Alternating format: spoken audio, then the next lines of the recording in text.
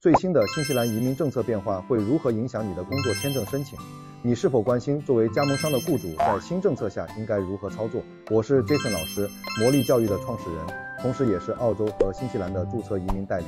今天我将为大家解读即将于2024年6月生效的重要政策变动。根据新西兰移民部长在今年4月的信号，内阁决定将在2024年6月16日废除加盟商认证类别。这一决定是基于没有有力证据表明。加盟商雇主可能不合规，或者需要额外的认证要求。也就是说，在新西兰的加盟店也和普通的其他公司总店一样，可以申请担保工作签证的资格。这一变化将于二零二四年六月十六日生效。这一调整将减少加盟商雇主的成本，使他们与其他同行业的企业站在同一起跑线上，也让他们可以更加容易地担保工作签证。对于希望申请认证或目前持有加盟商认证的雇主来说，现在无需立即采取行动。你们可以在二零二四年六月十六日后申请其他类型的认证。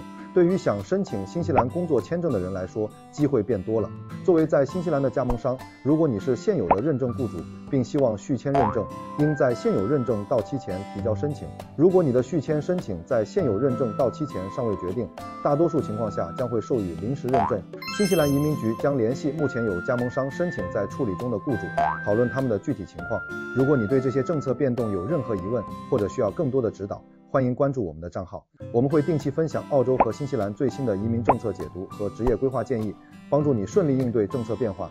感谢大家的收看，别忘了点赞、评论和分享，让更多的小伙伴也能受益。